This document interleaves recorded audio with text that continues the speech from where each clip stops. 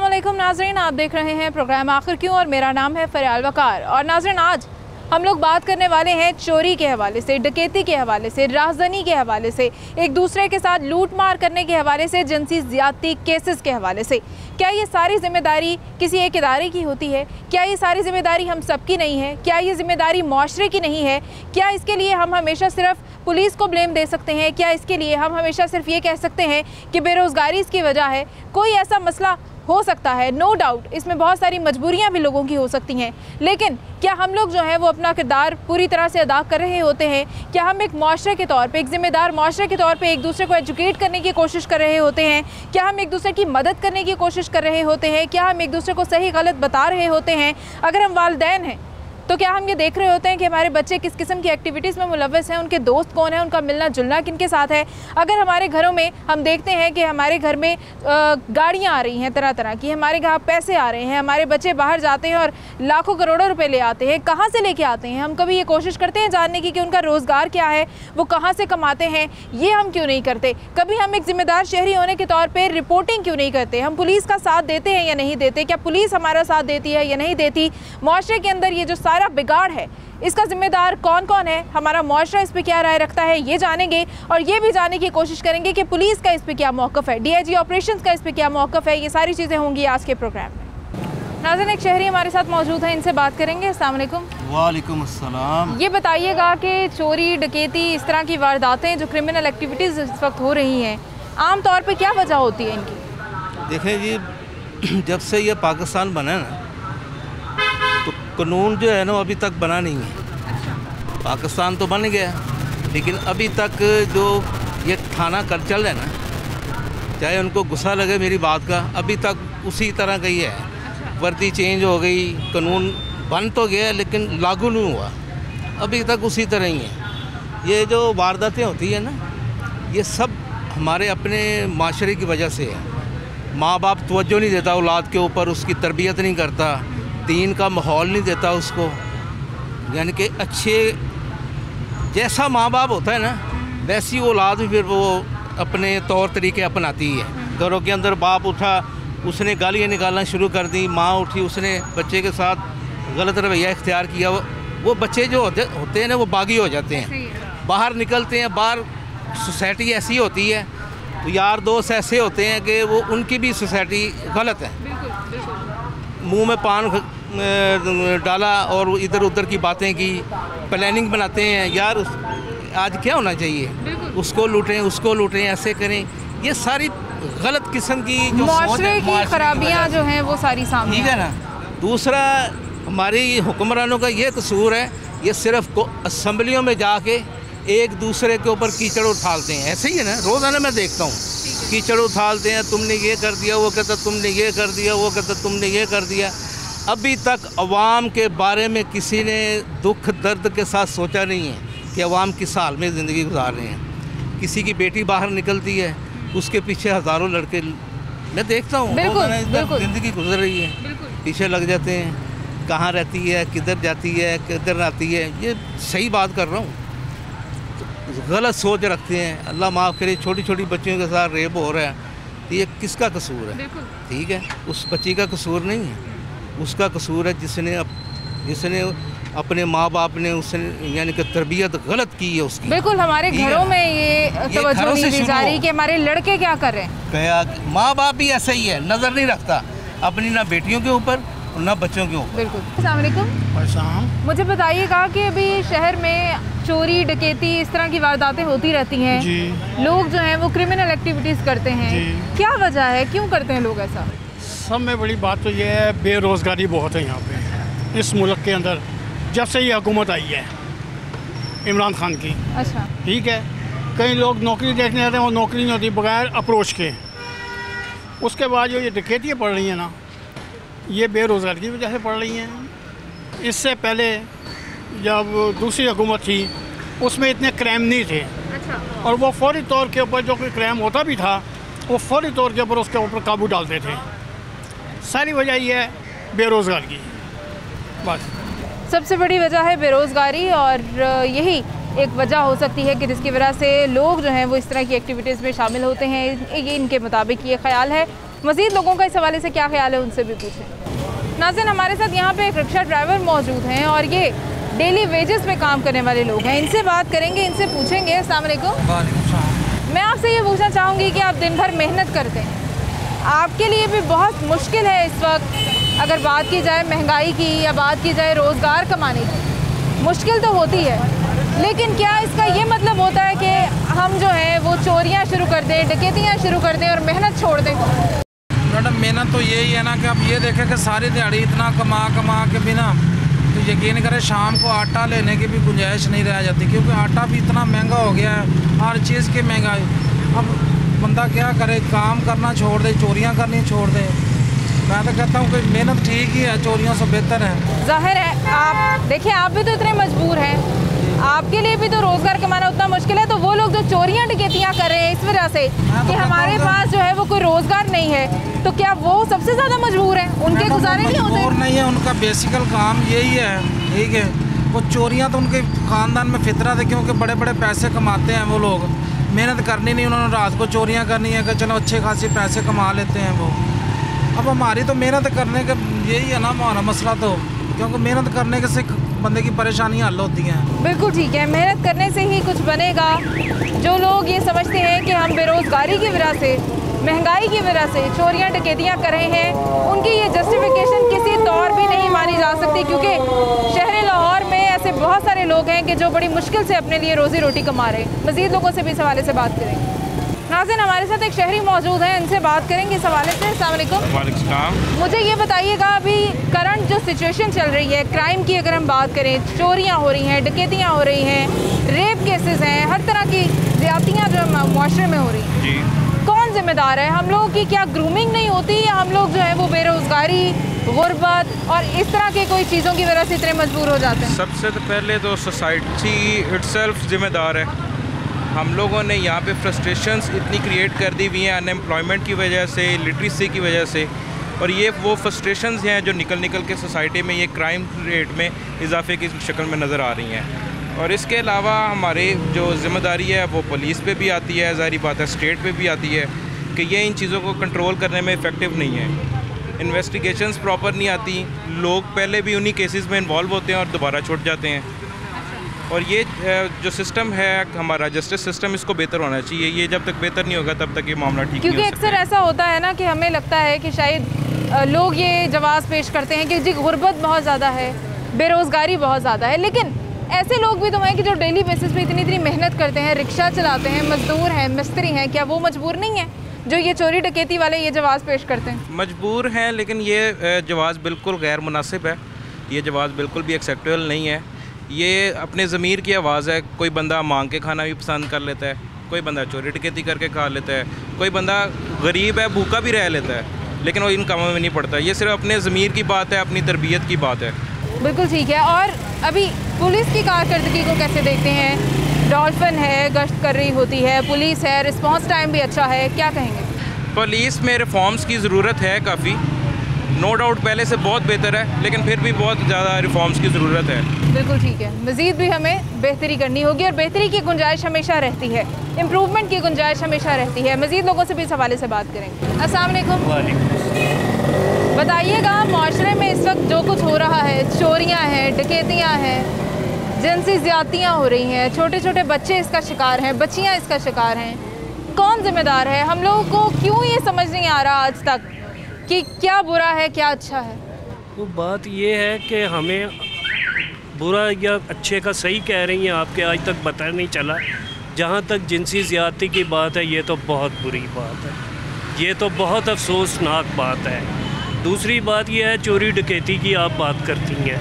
चोरी डकैती देखें कोई भी खुशी से एक आदि मुजरिम जो हो उसका तो कुछ नहीं कहा जा सकता। लेकिन अगर कोई दूसरा आदमी करता है तो हालात मजबूर करते हैं उसे कि वो इस तरफ़ आए। जब उसको रोज़गार नहीं मिलेगा जब उसको उसका हक नहीं मिलेगा तो बेटा आप खुद बताएँ वो क्या करेगा। बिल्कुल। कोई भी हो देखें ना जिसको रात को जब जाएगा उसके बच्चे खाने को मांगेंगे उसके पास नौकरी नहीं होगी रोज़गार नहीं होगा तो वो जब अपने बच्चों को देखेगा वो फिर दिस या दैट का फैसला करेगा कि मैंने कैसे अपने बच्चों को पालना है। ये गवर्नमेंट की ज़िम्मेदारी है कि रोज़गार दे। हमारी गवर्नमेंट ने कहा था कि जी मैं इतनी नौकरियाँ दूँगा मैं इतने बहाव बना दूँगा। क्या किया है? जिन रोज़गार लगा हुआ था उनकी भी छुट्टी हो गई। प्राइवेट जो हैं उन दुकानदारों ने दफ्तरों वालों ने सबने आधे आधे मुलाजिम कर दिए। क्यों कि कारोबार है नहीं, तनख्वाहें कहाँ से लाएँगे? दुकानों के किराए, दफ्तरों के किराए कहाँ से देंगे? अच्छा ये बताइएगा कि ये तो हो गई गवर्नमेंट की ज़िम्मेदारी कि सबको इतना फैसिलिटेट करें इतना सा रोज़गार सबके पास हो कि कोई चोरी डकैती में हाँ, मजबूर ना हो। आदि मुजरिमों को तो हम अलग रखते हैं। जी, जी। दूसरी बात ये बताइएगा कि हम लोगों की अपनी खुद की ज़िम्मेदारी क्या है? हमारे घरों में बच्चे होते हैं जी, जी। हमारे बहन भाई होते हैं। हमें उनकी तरबियत में किस तरह से चेंज करना होगा? हमें उनको नोट क्यों नहीं हम करते? आप बड़े बुज़ुर्ग हैं। जी, जी। मुझे बताइएगा कि आपके बच्चे की क्या एक्टिविटीज़ हैं कि आपको महसूस नहीं होता? होता है ना? बिल्कुल होता है। बात ये है कि ये माँ बाप कोई भी हो चाहे वो गरीब का बेटा है चाहे वो अमीर का बेटा है कोई ये नहीं चाहेगा कि मेरा बच्चा बिगड़े। चोर डकैत मेरा हो। बच्चा चोर हो डके तो या बिगड़े। अपने बच्चों पे बिल्कुल नज़र रखनी चाहिए। बिल्कुल ये हमारी रिस्पॉन्सिबिलिटी है कि हमारे बच्चे जो हैं उन पर हमारी नज़र होनी चाहिए। हम हम इस बात को मानते हैं। बिल्कुल ठीक है। आपके बच्चे क्या काम कर रहे हैं? आपके बच्चे कमा के कहाँ से ला रहे हैं? आपके घर में कोई नई चीज़ आ रही है? कहाँ से आ रही है? आप अपने बच्चों को ये सवाल पूछ सकते हैं आप उनकी एक्टिविटीज़ के ऊपर नज़र रख सकते हैं। हम जाएँगे नाजिन एक ब्रेक पे और उसके बाद दोबारा हाजिर होंगे हमारे साथ रहिएगा।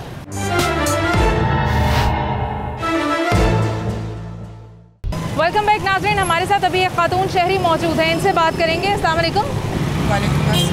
मैं पूछना चाहूँगी कि सोसाइटी में इस वक्त जो खराबियाँ हैं जो बिगाड़ है अगर हम बात करें चोरियाँ हैं डकैतियाँ हैं राहजनी हो रही है फिर ये ज़्यादती के केसेस बदतमीज़ियाँ ये चीज़ें क्यों नहीं रोक पा रहे हम लोग? इसलिए कि मुजरमों को सजाएँ नहीं दी जाती इनकी इनकी पुष्ट पनाही की जाती है।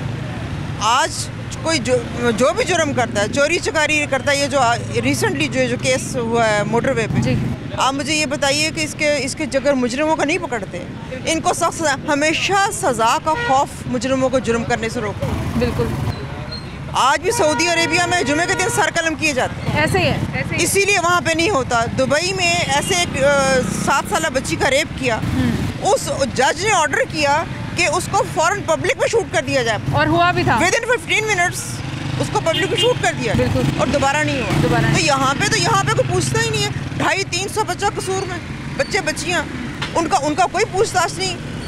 पीछे इनको पोलिटिकली सपोर्ट किया जाता। अच्छा हमें क्योंकि हमने अपने जो हमारे ने, नेचुरल जो चीज़ है जो हमें हमारे मज़हब ने हमें जो सजाएँ बताई थी बिल्कुल, बिल्कुल क्योंकि हम उनको छोड़ चुके हैं इसलिए बिल्कुल। हम इस तरह की चीज़ आप सऊदीया में कोई लॉ नहीं है यहाँ पे इंसान के बने हुए कानून है ना जो हमने लिखे हैं वहाँ पे सिर्फ़ कुरान से सजाएँ ली जाती है और उसी के तहत हर जुमे के दिन सर कलम होता है और इसीलिए वहाँ पे लोग अपने सोने जेवर की दुकानें भी खुली छोड़ के नमाजें पढ़ने चले जाते हैं। बहुत बहुत शुक्रिया आपकी कीमती राय के लिए एक और हमारे साथ शहरी मौजूद है इनसे भी बात करेंगे अस्सलाम किसको जिम्मेदार समझती हैं? हम सबका क्या फ़र्ज़ है? सोसाइटी में इतना बिगाड़ है कौन रिस्पॉन्सिबल है?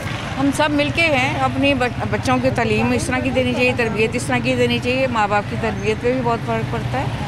और प्लस हमारी जो आई थिंक मेरी मेरे ख्याल में जो मेरा है तो ये पुलिस बहुत ज़्यादा इन्वॉल्व होती है इसमें। अच्छा। पुलिस का किरदार आप मुतमिन नहीं हैं। पुलिस के रोल पे मुतमिन नहीं हैं और हम सब जो हैं ये सारे बिगाड़ की हम सब के ऊपर ज़िम्मेदारी है। हम सोसाइटी में अच्छे शहरी कैसे बने? हम अपनी लड़कियों को प्रोटेक्ट नहीं कर पा रहे हम अपने बच्चों को प्रोटेक्ट नहीं कर पा रहे हम लोग खुद के ऊपर कंट्रोल नहीं कर पा रहे। मज़ीद लोगों से भी इस हवाले से बात करें।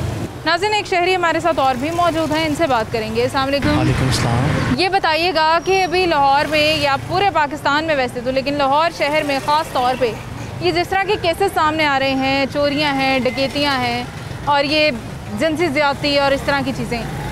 कौन जिम्मेदार है? इसकी जिम्मेदार हुकूमत है। ज़ाहिर बात है जब आपके मुल्क में बेरोज़गारी ज़्यादा होगी लोगों के पास रोज़गार नहीं होगा लोग दो वक्त की रोटी को तरसेंगे तो फिर चोरियाँ डकैतियाँ ही होनी हैं और क्या होना है? यहाँ पे आप देखें आए दिन लोग बेरोज़गार हो रहे हैं गुर्बत बे इंतहा अरूज पे पहुँच चुकी है।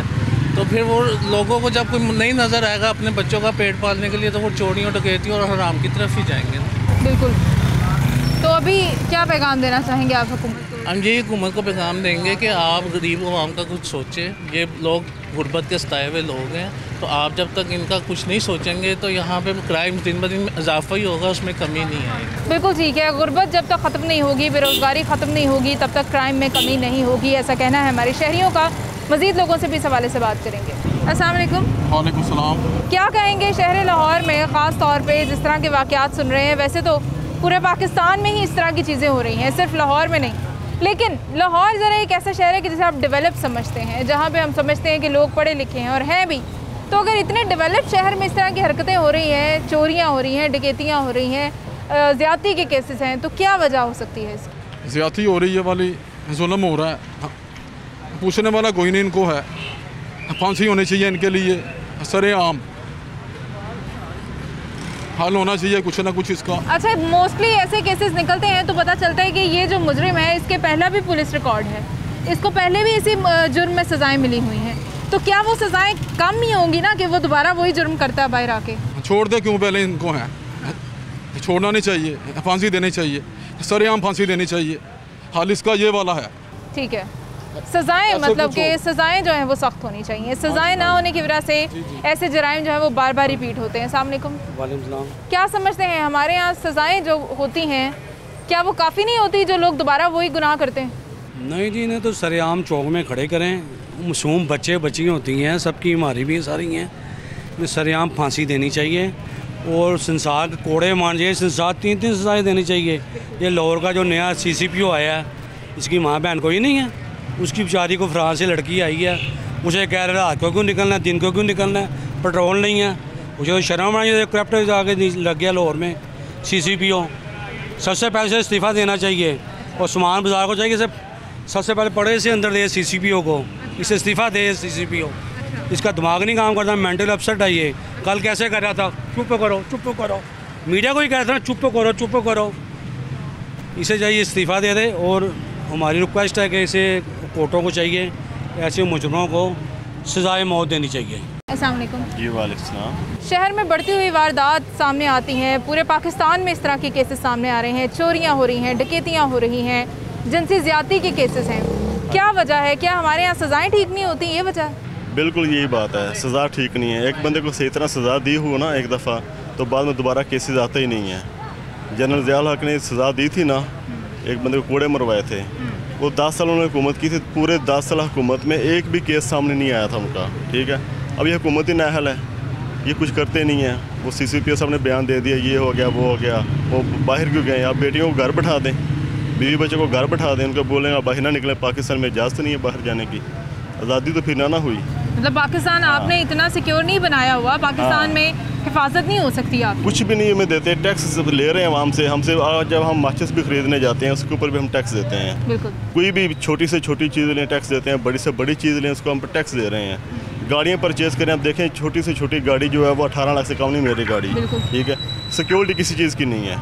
किसी चीज़ की सिक्योरिटी नहीं है। किसी किस्म की किसी भी रोड पर हम तो ये पैगाम देंगे खुदा के लिए छोड़ें आपके बस का बात नहीं है आप घर चले जाएँ। हर चीज़ की ज़िम्मेदारी जो है वो चोरियाँ डकैतियाँ क्यों होती हैं? ये हर चीज़ की ज़िम्मेदारी होती है जो ऊपर बैठे बाज़ार बाज़ार वाले जो बैठे हैं ना इनका होता है सारा। अच्छा। इन्होंने कंट्रोल करना होता है आगे। अच्छा।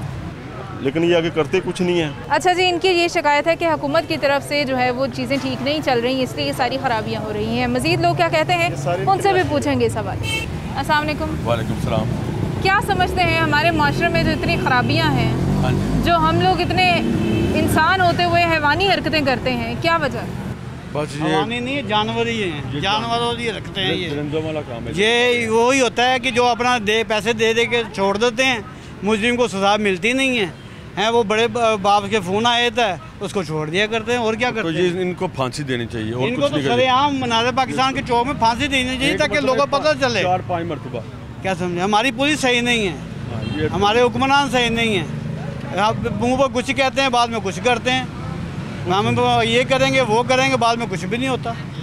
बाद में अगर रोता रहता है गरीब का माँ बाप जिनकी बेची जो तो ये तो, होता रहता ये तो हमारी हुकूमत कहती थी कि सब कुछ ठीक हो जाएगा बेरोजगारी ठीक हो जाएगी वारदातें रुक जाएँगी चोरियाँ डकैतियाँ रुक जाएँगी। ये पुलिस वाले हमारे चोर हैं असल चोर पुलिस वाले हैं हमारे जो कार्य डकैत जो जिसको पकड़ते हैं उसको दस हज़ार ले लिया बीस हज़ार ले लिया। रिश्वत रिश्वत खा रहे हैं ये।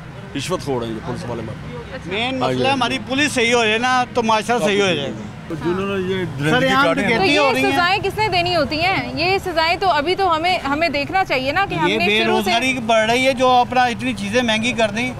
हम आप खुद रक्षा चलाते हैं हमारा से खुद नहीं पूरा होता। अच्छा आपसे ज़्यादा मजबूर हैं ये जो चोरियाँ डकैतियाँ करते हैं? ज़ाहिर सी बात भी है। तो मेहनत कर रहे हैं। हम मेहनत कर तो कर रहे हैं मगर एक चीज़ को बंदे को नौकरी नहीं मिलती। अब जैसे आपने बारह पढ़ी हुई हैं आप आपको नौकरी नहीं मिलेगी। आप कहीं जाएँगे वो कहते हैं बीस हज़ार दो ये आपको रख लेंगे। अब बीस हज़ार रुपये मेरे पास नहीं होगा तो मैं कैसे आपको दूँगा? रिश्वत चलती है। रिश्वत चल रही है हर जगह रिश्वत चल रही है। ये इसलिए ये हमारा जरा मुल्क बर्बाद हो रहा है। वरना वो अभी तो उल्टे सीधे काम करते हैं ना अभी मैंने स्कीम और थोड़े दिन पहले देखे आप जैसी लड़की यूँ करके गुजर रही सड़क क्रॉस करके वो मोबाइल यूँ करके छीन के आराम से लेके हैंड फ्री लगाई हुई थी। यानी कि हमारा मुल्क चोर बाजारी अब में ये देखें कैमरे का क्या फ़ायदा है? हाँ बाद तो बाद में काम आते हैं। पहले एक बार तो किसी के साथ कार्रवाई हो जाती है। जो होना होता है वो तो हो जाता है।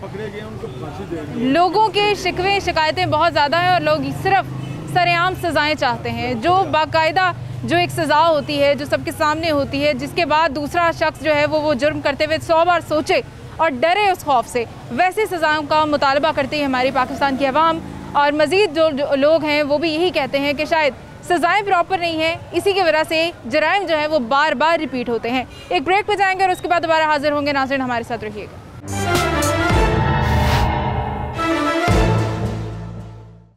जी नाजरीन लाहौर में अगर हम बात करें तो जिस तरह से क्राइम रेशो बढ़ता दिखाई दे रहा है, उस पर काम भी उस तरह से हो रहा है, लेकिन आखिर वजूहत क्या होती हैं? क्या रीजंस हो जाती हैं? क्या लोग समझते हैं कि उनके पास किसी ना किसी क्रिमिनल एक्टिविटी के अलावा और कोई रास्ता ही नहीं उन्हें दिखाई देता? आखिर इतने मजबूर क्यों हो जाते हैं? हमारे माशरे में ग्रूमिंग क्यों नहीं की जाती उस तरह से कि लोगों को बताया जाए कि इस तरह की एक्टिविटीज़ जो हैं वो आपके लिए सिवाय नुकसान के और कुछ भी नहीं कर सकती? और इस वक्त लाहौर में किस तरह से क्राइम को कंट्रोल करने की कोशिशें की जा रही हैं? क्या क्या जो है वो करने के लिए हमारी पुलिस जो है वो पुरज़म होती है। हम ये सारी चीज़ें डिस्कस करेंगे। मेरे साथ इस वक्त मौजूद हैं।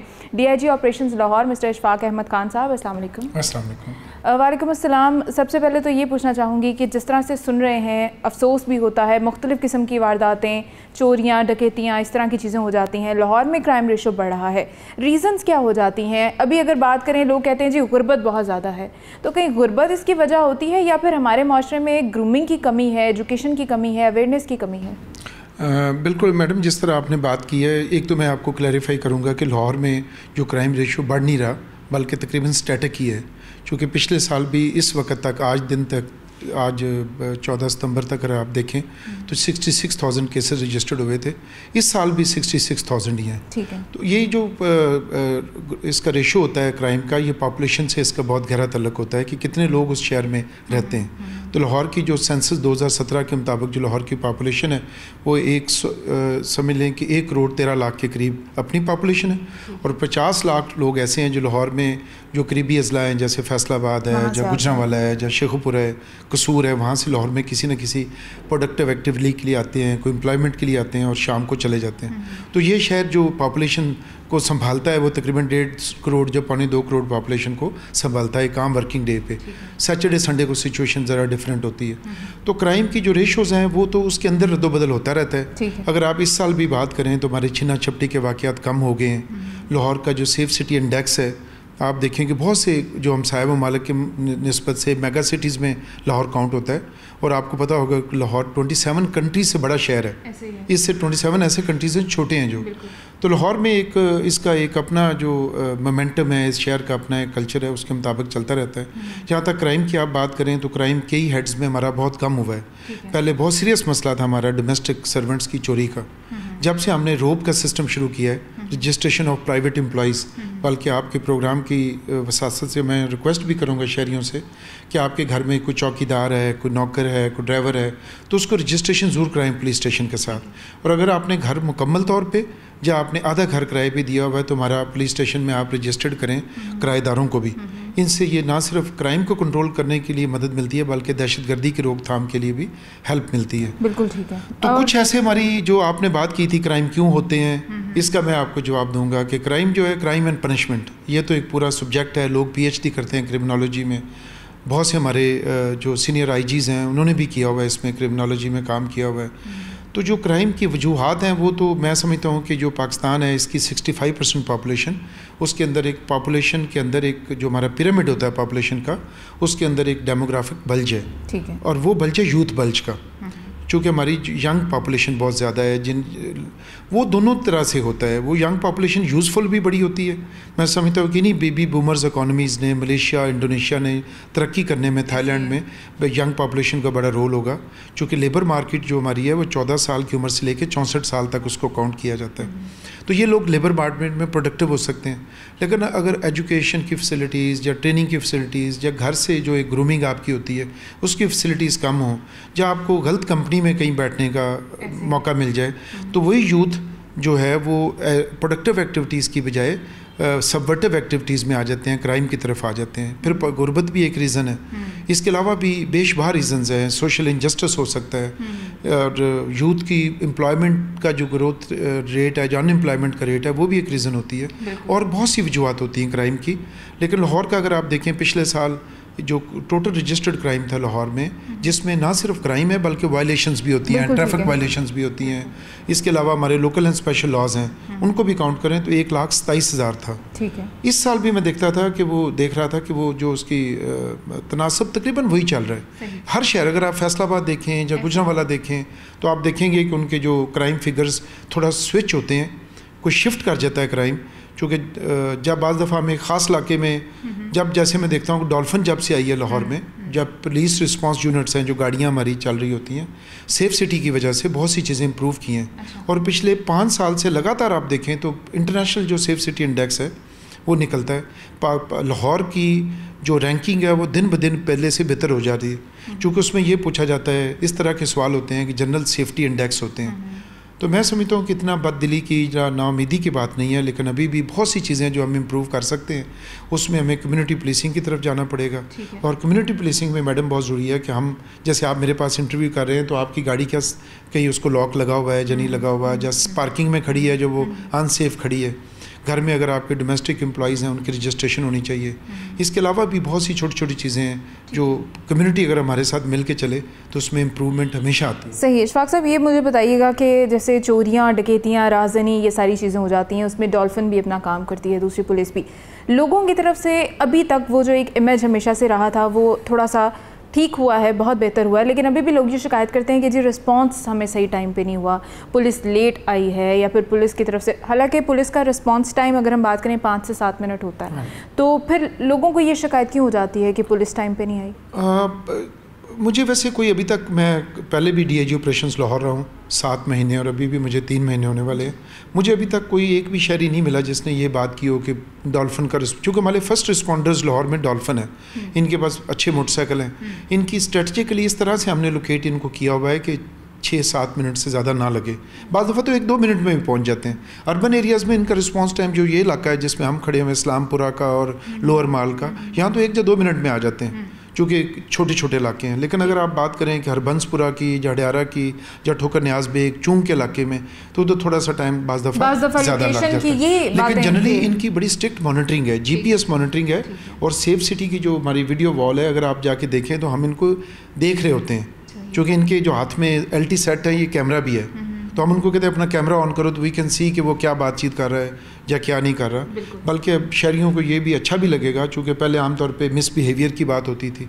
तो अभी हमारी जो पुलिस रिस्पांस यूनिट्स की गाड़ियाँ उनमें 360 व्यू का कैमरा लगा हुआ है। हम्म। और जो हमारे मोटरसाइकिल है डॉल्फिन के इनके हाथ में जो एल सेट है इसके अंदर ये वीडियो रिकॉर्डिंग भी होती है। सही। तो वो जो भी आपसे बातचीत कर रहे हैं अगर हम चाहें तो हम वो देख सकते हैं कि उनका एटीट्यूड उनका बातचीत का अंदाज क्या था। बिल्कुल पुलिस लेकिन, आपके साथ लेकिन ये भी। साथ है कि जो लोग जब किसी विक्टम होते हैं जब किसी मुश्किल में होते हैं तो उनको शायद पाँच मिनट भी बहुत ज़्यादा लगते हैं जब कोई ज़ख्मी हालत में हो जाए कुछ। है तो मैं समझता हूँ कि हम इसको हमेशा इम्प्रूवमेंट का चांस रहता है और हम करते रहते हैं इम्प्रूव अच्छा और ये बताइएगा कि कुछ इलाके जिनका नाम मशहूर हो जाता है कि ये क्रिमिनल इलाके हैं ये एरियाज़ जो हैं वो ख़तरे के हैं यहाँ पे हालात बहुत ख़राब हैं वो इमेज हम कैसे ठीक करेंगे? मतलब लोग बात करते हैं भगवानपुरा है बाटापुर है ये सदर डिवीज़न है ये हाईलाइटेड हैं तो इनके लिए कितनी सख्त जो है वो होगी आपकी मॉनिटरिंग ये बिल्कुल आपने ठीक बात की सदर डिवीज़न का बहुत से एरिया जो है वो लाहौर की एंट्री एग्ज़िट्स का है।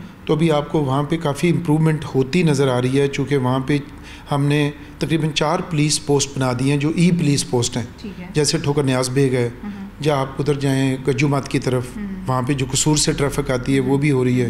रायवेंड से आने वाली भी ट्रैफ़िक को मॉनिटर किया जा रहा है। वहाँ पे हमारे जो ऑफिसर्स आपने देखा होगा उनके हाथ में मोबाइल फ़ोन्स हैं। और वो किसी का भी आईडी कार्ड नंबर डालें तो वो उसका क्रिमिनल रिकॉर्ड चेक कर सकते हैं। इसके अलावा बिल्कुल आपकी दुरुस्त बात है हमें अपनी जो पेट्रोलिंग है वो वसाइल थोड़े और आ जाएँगे तो हमें सुंदर की तरफ़ और रायमंड के इलाके में हम पेट्रोलिंग और इन्हेंस कर सकते हैं। क्योंकि पुलिस स्टेशन की अपनी तो एक या दो गाड़ियाँ होती हैं बड़े पुलिस स्टेशन में दो होती हैं छोटे में एक होती है इसके अलावा डॉल्फिन होती है हमारी ईगल्स होती हैं। तो एक इतने बड़े इलाके में बाज़ दफ़ा क्राइम के पैटर्न चेंज होते रहते हैं लेकिन हम हीट मैप्स बनाते हैं। हम देखते रहते हैं कि किस वक्त और किस जगह पे क्राइम का इंसिडेंस हो रहा है। तो उसके मुताबिक जो S S P operation Lahore है ये इसके इंचार्ज हैं और वो इसकी पेट्रोलिंग के प्लान को तब्दील करते रहते हैं। ये चोर सिपाही का खेल जो है ना जारी रहता रहता है। है। डीएची साहब ये भी मुझे ज़रा बताइएगा कि अक्सर लोग ये कहते हैं कि जी हमारे डकैती हुई थी। तो पुलिस ने हमें ये जो है वो मशवरा दिया था कि आप जो है वो आपकी रिकवरी इंशाल्लाह हो जाएगी आप परेशान ना हो या आप अपना मुकदमा जो है वो डकैती का ना करवाएँ चोरी का करवाएँ। तो क्या आप समझते हैं कि पुलिस इस तरह से मशवरा दे देखिए ऐसी कोई डिक्लेयर्ड पॉलिसी नहीं। हमारे आईजी पंजाब जो भी अनाम गनी साहब बहुत सीनियर ऑफिसर हैं और बहुत ज़्यादा उनको पंजाब की समझ है। पहले एडिशनल आईजी पंजाब भी रह चुके हैं ऑपरेशंस के। उन्होंने अपनी पहली मीटिंग में कहा था कि burking is not an option छुपा बर्किंग कहते हैं क्राइम को छुपाना। तो हम किसी एस को इस बात पे कभी नहीं पूछते कि आपका क्राइम की रजिस्ट्रेशन क्यों ज़्यादा हो रही है। उसमें हमारा जो परफॉर्मेंस की असेसमेंट या मेज़रमेंट का है वो है कि क्राइम को ट्रेस होना चाहिए। क्योंकि क्रिमिनल जब ट्रेस होगा पकड़ा जाएगा तो वो तभी हटेगा। अगर पकड़ा नहीं जाएगा तो पेट्रोलिंग से तो हम उसको एक जगह से चेक करेंगे तो किसी और जगह जाके क्राइम करेगा। अच्छा हम अ, तो हम जो ये जो आपने बात करें अगर किसी शहरी को भी शिकायत हो कि उनकी एफ़ आई आर दर्ज नहीं हो रही तो वो बिल्कुल कंप्लेंट के मैकेनिज्म्स मौजूद हैं। एट सेवन एट सेवन एक ऐसा नंबर है जिस पे आप मैसेज कर दें तो आईजी साहब तक मॉनिटरिंग होती है। अच्छा। और ईमेल भी कर सकते हैं। Eight seven eight seven eight seven eight seven. ये बड़ी ज़रूरी बात है कि हेल्पलाइंस का लोगों को पता हो। ये हमारी जो पुलिस की वन फाइव अगर आप पूरे पाकिस्तान में कहीं भी आपको पुलिस की मदद हो तो वन फाइव आप मिलाएँ। और अगर मोटरवे पुलिस की मदद की ज़रूरत हो तो वन थ्री ज़ीरो मिलाएँ। तो ये जो हेल्पलाइंस हैं एमरजेंसी हेल्पलाइंस हैं ये ज़रूरी है। डबल वन डबल टू है डबल अगर आपके फायर हो गई या कुछ डिज़ास्टर हो जाए तो हमारे रेस्क्यू सर्विसेज़ बहुत अच्छी हैं पंजाब में। तो ये पता होना ज़रूरी है। अच्छा मैं पूछना चाहूँगी जैसे हम लोग देखते हैं कि अक्सर ऐसा होता है कि केसेस के अंदर वही लोग जो कहीं के इश्तिहारी होते हैं वो दोबारा दोबारा आ रहे होते हैं। तो ये लोग क्योंकि जब एक इनका प्रोसीजर होता है कि जुडिशरी का अगर छुट भी गए हैं तो कितने लोगों को आपने देखा है कि बाद में इम्प्रूवमेंट आई हो उनमें और वाकई एक अच्छे सिटीज़न बन गए हों? देखिए जो बाहर के मुल्कों में हम देखते हैं कि जेलों का नाम चेंज कर दिया गया। तो उसमें कहते हैं जेलों का नाम अगर आप अमेरिका में जाएँ तो जेलों के बाद लिखा होता है करेक्शन फैसिलिटी यानी कि उनके सोच है कि ये इसलाह के अदारे हैं। तो वो जो असलाह के अदारे हैं, अगर जेल रिफॉर्म्स की जाएँ, किरण बेदी ने इंडिया में बहुत ज़्यादा रिफॉर्म्स की थी, अमेरिका में रिफॉर्म्स हुई हैं, यूरोप में बहुत ज़्यादा जेल के सिस्टम्स पे रिफॉर्म्स हुई हैं। तो देखिए क्रिमिनल जस्टिस सिस्टम में पुलिस एक पार्ट है, फिर प्रोसिक्यूशन का सिस्टम है, फिर कोर्ट्स का सिस्टम है और फिर जेल का सिस्टम है। ये चारों अज्जा मिलते हैं तो एक अच्छा क्रिमिनल जस्टिस सिस्टम बनता है। तो मैं समझता हूँ कि हम पुलिस रिफॉर्म्स की बात करते हैं। मैं कहूँगा कि पूरे क्रिमिनल जस्टिस सिस्टम की रिफॉर्म्स होंगी तो डिविडेंड्स मिलेंगे हमें कॉन्सिक्वेंशल आउटकम मिलेगी चीज़ें बेहतर होंगी। और करेक्शन फैसिलिटीज़ जिन लोगों को करेक्शन फैसिलिटीज़ में किया जाए साइकाट्रिस्ट की हेल्प होनी चाहिए उनको साइकोलॉजिकल थेरापी होनी चाहिए तो वो बेहतर हो सकते हैं। लेकिन अभी तक अगर आप मैं समझूं तो मैंने बहुत कम लोग ऐसे देखे हैं जो कि क्राइम छोड़ के कोई अ, सही तरफ़ चल पड़े हों। अच्छा हमने देखा हम कहीं भी भी जाते हैं अपना आईडी कार्ड की रजिस्ट्रेशन होती हैं हमारी बसेस के ऊपर टिकट ले रहे हैं हर जगह पे आपका। उससे कितना फ़ायदा हो जाता है आप लोगों को? क्योंकि एक रिकॉर्ड तो आ जाता है कि इस शख्स ने ट्रैवल किया आपको बताऊँ बड़ा अच्छा सवाल किया आपने फ़रियाल। ये जो पुलिस का हमारा ई पुलिसिंग है ये पंजाब पुलिस की बहुत ही ज़बरदस्त है अभी। ये हमारे पिछले सक्सेसिव पीरियड्स में इस पर काम हुआ है। हमारे बहुत से आईजीज़ ने इसमें कंट्रीब्यूट किया है और मौजूदा आईजी पंजाब का भी बहुत ज़्यादा इंटरेस्ट है इसको इम्प्रूव करने में। और वो आप देखें कि ई पुलिस का जो सिस्टम है, इसमें अब कोई भी अगर आप किसी भी बस स्टैंड से टिकट ले रहे हैं तो हमें अलर्ट आ जाता है अगर आपका क्रिमिनल रिकॉर्ड है या वांटेड है। तो मोस्ट वांटेड को हम ट्रेस कर लेते हैं। डेली तकरीबन आठ से दस अरेस्ट हो जाती हैं जो पब्लिक ट्रांसपोर्ट को यूज़ करते हुए। इसी तरह से अगर कोई होटल मोटल सराय में आके ठहरता है तो उसका भी हमें अलर्ट हो जाता है क्रिमिनल्स का। हम लगातार क्रिमिनल की मॉनिटरिंग कर रहे हैं और ना सिर्फ़ वो ह्यूमन इंटेलिजेंस से कर रहे हैं बहुत सारी इलेक्ट्रॉनिक इंटेलिजेंस मौजूद है। ई पुलिस पोस्ट आपको मैंने बता दिया लाहौर में एंट्री एग्जिट्स पे सेफ़ सिटी अथॉरिटी और लाहौर पुलिस की मुश्तरका चेक पोस्ट हैं। और वो बिल्कुल आपसे सवाल जवाब नहीं करते बल्कि आपका सिर्फ़ आईडी कार्ड नंबर डाल के या फिंगरप्रिंट आपका लेके वो कर सकते हैं। बिल्कुल ऐसा है। कोई मैसेज देना चाहेंगे अपनी? मैं एक ही मैसेज देना चाहूँगा कि लाहौर पुलिस लाहौर के लोगों के लिए आप पुलिस के साथ तामन करें और पुलिस के साथ हमें कम्युनिटी पुलिसिंग को प्रमोट करने में हेल्प करें। अगर आप एक छोटे छोटे पुलिस के इनिशिएटिव्स होते हैं जैसे अगर आप अपने घर में एक बेल लगवा लें और साथ वाले घर घर से उसको कनेक्ट कर लें इसको क्रॉस बेल कहते हैं। अगर कोई इमरजेंसी हो तो अगर वो बेल बजाएँ तो आपको समझ आ जाएगा कि वो एक डिस्ट्रेस में है। इंग्लैंड में अमेरिका में ये चीज़ें फॉलो होती हैं। और वो आप फौरी तौर पे वन फाइव पर कॉल कर सकते हैं कि आपके नेबर्स में कोई इशू है। इस तरह एज ए शहरी सबसे पहला काम है कि आप अपने एम्प्लॉज़ को रजिस्टर्ड करें। दूसरा इंपॉर्टेंट है कि आप अपने घर का कोई पोर्शन या कहीं और आपने घर या अपार्टमेंट किराए पे दिया हुआ है तो उसको पुलिस के साथ रजिस्टर्ड करें। आप भी सेफ़ होंगे आपका शहर भी सेफ़ होगा। लाहौर को महफूज बनाना हम सब का काम है। पुलिस आपकी मदद के लिए होती है लेकिन शहरी ये ऐसा काम है कम्युनिटी पुलिसिंग का कि हमने लोगों, आपको इंगेज करना है। आपकी मदद से हमने लोगों को प्रॉब्लम्स को आइडेंटिफाई करना है और आपकी मदद के लिए हमने क्राइम इस शहर में इसको ज़्यादा से ज़्यादा पीसफुल बनाना बिल्कुल सही। ये एक बड़ी इंपॉर्टेंट बात थी क्योंकि लोग अक्सर घबरा जाते हैं और वो कोई इतला भी नहीं करते कि हमारे आसपास कुछ ऐसा हो रहा है कि पता नहीं क्या एक्टिविटी है, हम इसके अंदर जो है वो शामिल ना हो जाएँ। तो ऐसे घबराना नहीं चाहिए, दूसरों की मदद करनी चाहिए। और डीआईजी साहब की जो सारी बातें थी, आपने सुनी कि लाहौर में क्राइम को कंट्रोल करने की बेहद कोशिश की जा रही है और रिज़ल्ट भी उसके आ रहे हैं। हम और मेरी टीम आपसे इजाज़त चाहेंगे। कल आपसे फिर मुलाकात होगी। अपना बहुत सारा ख्याल रखिएगा। खुदा हाफिज़।